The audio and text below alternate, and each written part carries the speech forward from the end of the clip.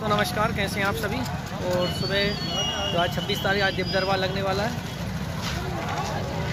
पीछे देखिए। भीड़ देखिए।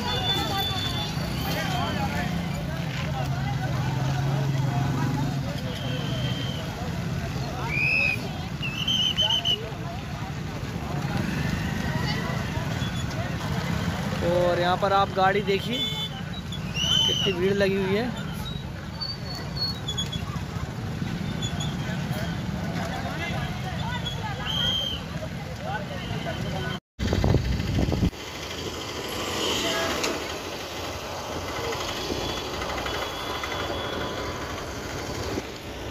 सुबह से ही भीड़ हो गई है और आज फोर व्हीलर भी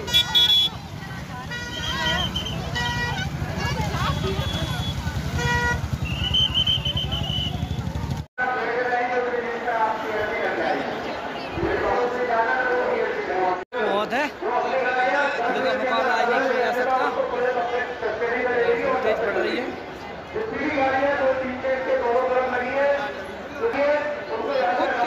बेटा आराम से चलिए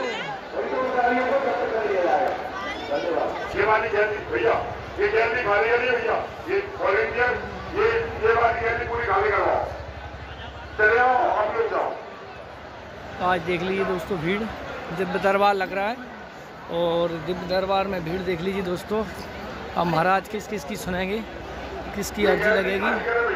वो तो महाराज और प्रभु जाने। कोई भी नहीं कोई नहीं होगा और माताओं बहनों से और भाइयों से अनुरोध है जो नाजुक कपड़े आपने टांग दिए हैं चारों तरफ़ इनको उठा लीजिए नहीं मैं हटवा दूँगा हमारे वॉलंटियर जब मिलेंगे नहीं आपको ध्यान रखना। इनसे आप व्यवस्था फैल रही है आप देखिए जरा सभी जगह आपके कपड़े निकल रहे हैं।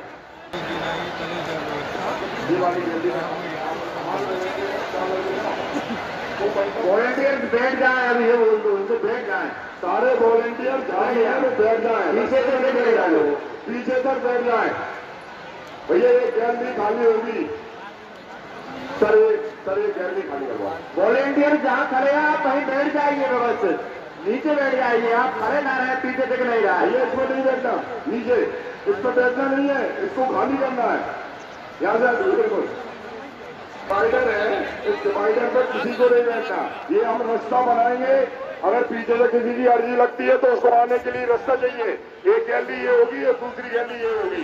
इसलिए आप हो इसको खाली हमारे अभी महाराज आए नहीं हुए हैं। अब देखते हैं महाराज के दर्शन करेंगे।